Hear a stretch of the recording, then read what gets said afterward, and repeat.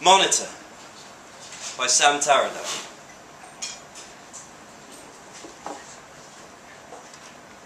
The baby monitor squeals, and my hand jerks to find it, pulling me out of a dreamless, unsteady sleep. Before I know where I am or what's going on, I've clutched the receiver to my head, and I'm zeroed in on the sound of the noise. May, my baby daughter, is crying in the dark. The sound rings in my head and down my spine. It cramps my stomach and my veins clench. She's calling out because she's scared or hurting. Something's wrong. And her daddy has to be there for her. Her room is opposite the master bedroom, and it's not more than eight steps from the bed to May. So go straight for her and pick her up before you turn the lights on. In the dark, my mind is a pinball machine having a seizure, rattling and pleading. What's wrong? Again and again. I'm a good daddy, so it's my job, my duty, to make sure she's properly cared for. There, the first hints of pink light start to brighten the room.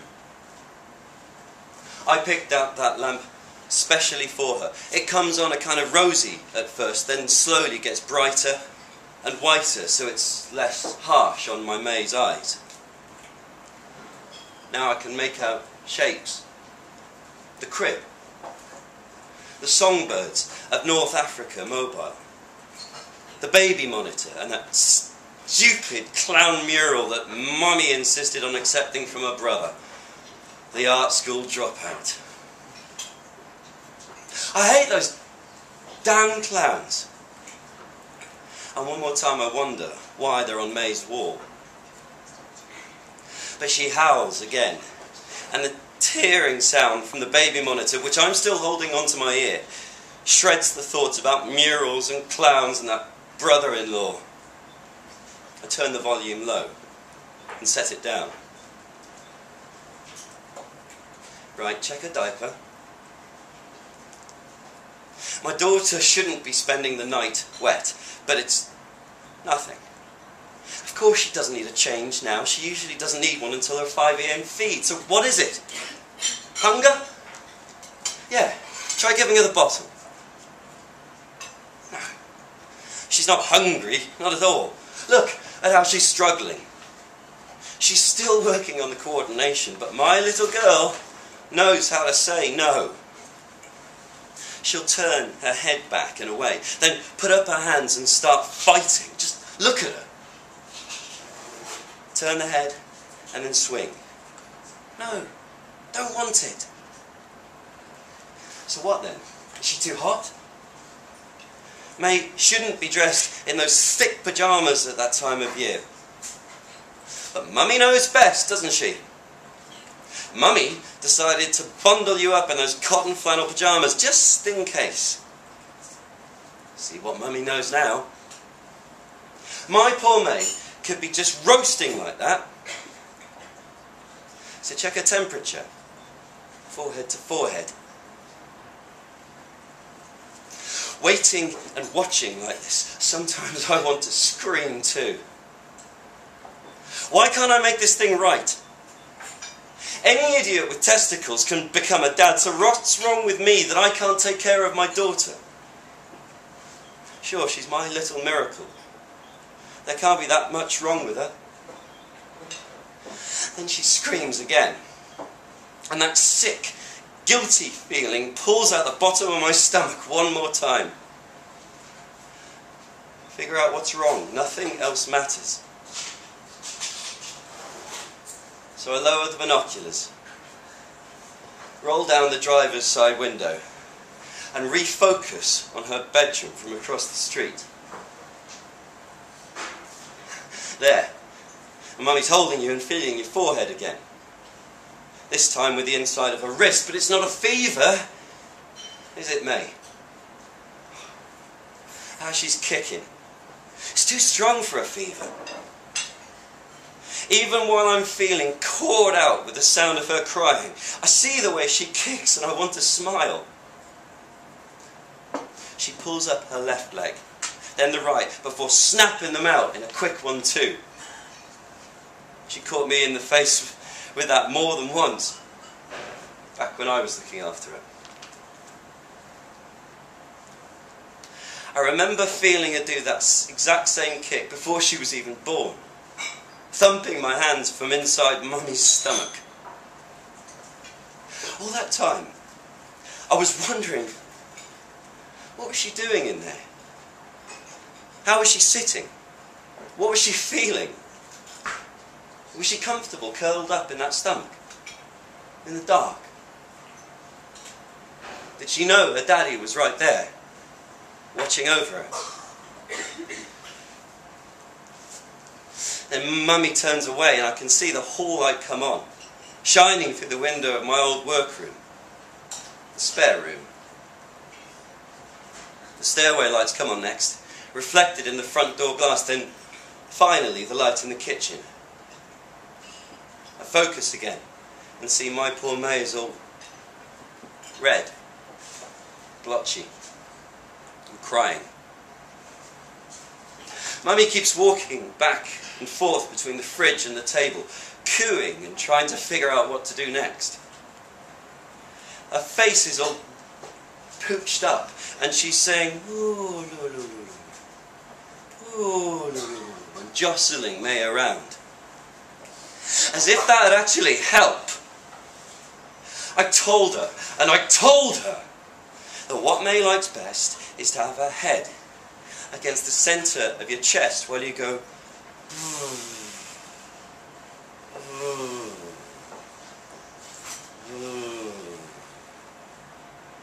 and make your voice lower each time the sound changes. She likes the buzzing and vibration rumbling from your body to hers. But Mummy always says "Ooloo and bounces her around because Mummy always says "Ooloo and bounced her. Mummy always knows best, and Mummy's Mummy always knew best. They got all the answers, don't they? Except May is still crying, so someone must still be doing something wrong. She's trying to burp her now. Stupid. It's been almost ten minutes since she woke up, and she's still crying. May never cries for this long when I've got her. And this isn't fussing! It's full bore, wide open crying. I can see her screaming inside, and I can feel it out of here. Across the street. She's crying! And I still don't know what's wrong in there. I tell myself there's no cause for panic. I'm not one of those parents who runs off to the doctor for every little thing. Besides, a parent's got to cope. You've got to be the first and the last resort. Right now, she's crying because something's not right. Figure out what it is and take care of it. It's not hunger. It's not gas. So check her over again. And just as I'm thinking it, Mummy lays May down on the kitchen table and checks again to find Nothing. What's wrong? She's hurting. And this whole thing is cutting me up inside. For the hundredth time tonight, I want to break down the door, grab my daughter and take her somewhere else. Somewhere clean, and quiet, and warm, and safe. I want to curl my arms around my merry Mayday and fix whatever it is that's wrong. I want to take her away and keep her safe. That's what a father's supposed to do, a good father. Protect his baby. Then I realise I've let go of the steering wheel and I'm about to open the car door. The inside lights of the car are always switched off, but opening the door here would probably activate the security lights next door. And even though I'm outside of the judge's fucking 50 metre limit, Mummy knows she can just call the cops and Daddy gets a trip down to the police station anyway. But Daddy's not a bad man, and if he goes to jail, he can't help May. He can't even see May. So I take a deep breath, brush the empty cups and wrappers off the dashboard, and put the binoculars down. Even though my guts clench every time I hear her muffled crying over the monitor, I close my eyes, put both my hands on the steering wheel,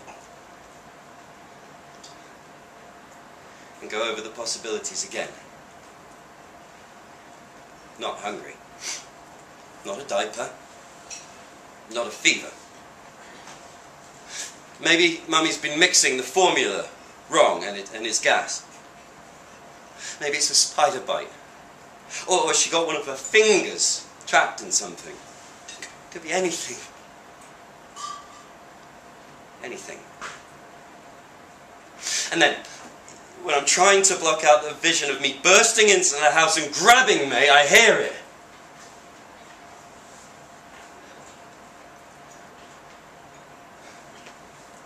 Quiet. Quiet. I open my eyes and grab the binoculars to see into the kitchen window again. I can see Mummy walking back and forth in front of the sink and juggling something in front of May's face. I refocus and look again. it's that yellow dish scrubber. What, you know, one of the shit ones with the, the hollow handles that Mummy insists on buying.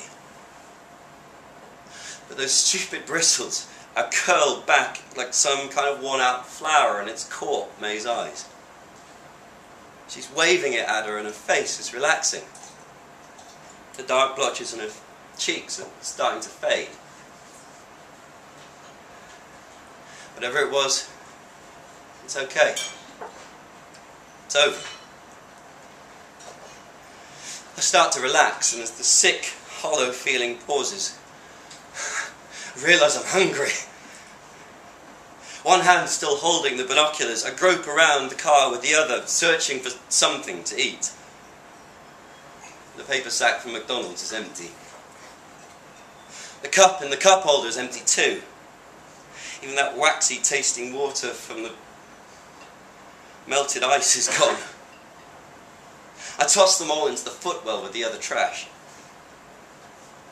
There's not even a gum or mints or anything in the glove box, so I push the feeling aside and watch my girl happy again. Mummy is circling the scrubber above May's face, swooping it in close, then fluttering it away, and May is tracking it with her eyes, smiling that pink gums smile, and trying to reach it. She's missing it.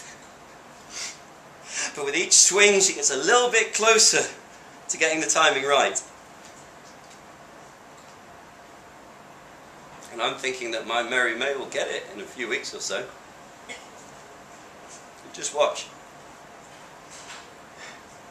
And then Mummy turns away from the window and I can't see anymore.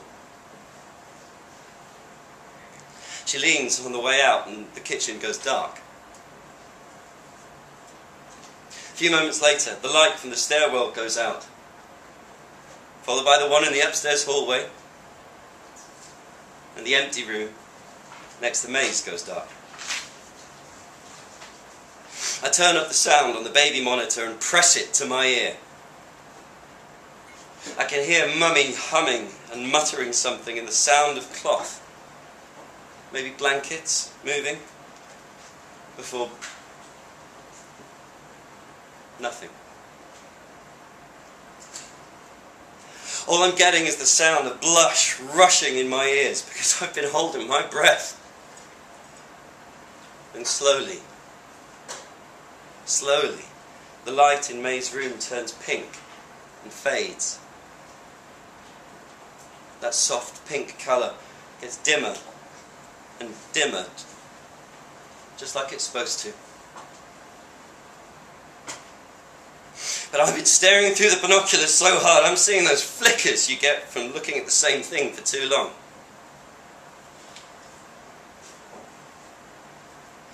From out here, I can't tell when that warm light over my baby has finally, completely gone out.